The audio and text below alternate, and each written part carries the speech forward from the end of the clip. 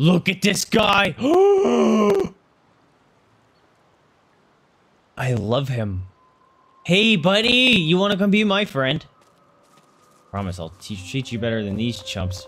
The great creature gives you a disinterested look. No.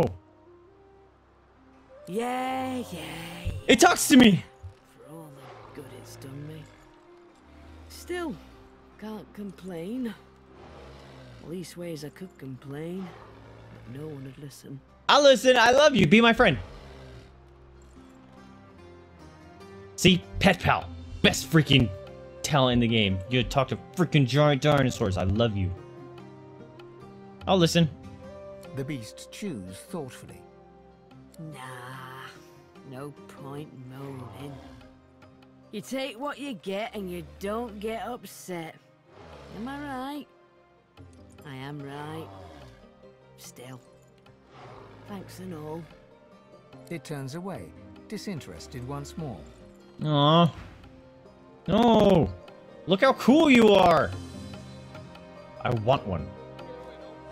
Dude, if I get to ride one of these later, I may scream. I want one.